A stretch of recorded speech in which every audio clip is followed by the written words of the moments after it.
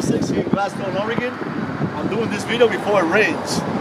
1971 350 SL Mercedes. Very nice overall. Just uh, got it on trade-in. Saw the guy a little Mustang. Traded his Mercedes. Had for a long time. As you notice, original wheels, tires, soft top. I also had the hard top. It's got the lip moldings, which is very nice. Chrome lip moldings.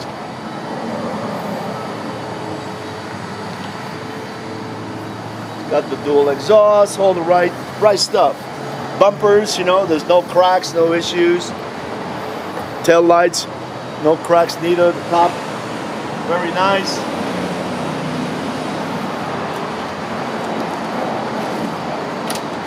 There you go.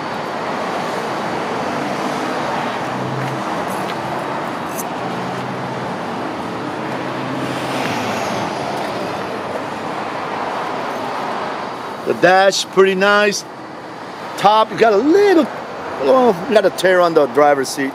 Something you can take. The carpets are very nice. Seats.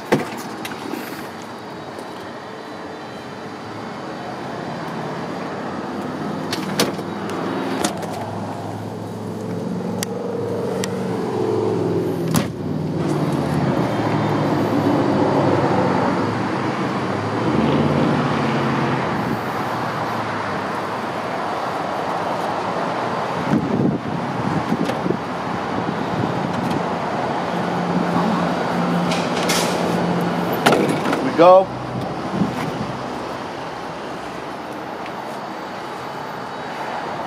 Just an affordable Mercedes that you could drive in and have fun. You know? The hardtop is also in good shape. Door panels, dash. It's got a beautiful AM/FM CD stereo, gauges, steering wheel is good. Okay, this is the best part. Ah, trunk.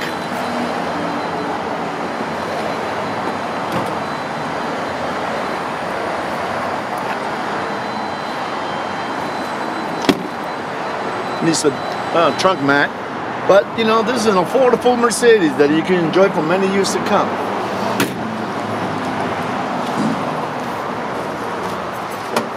The best part starts right up.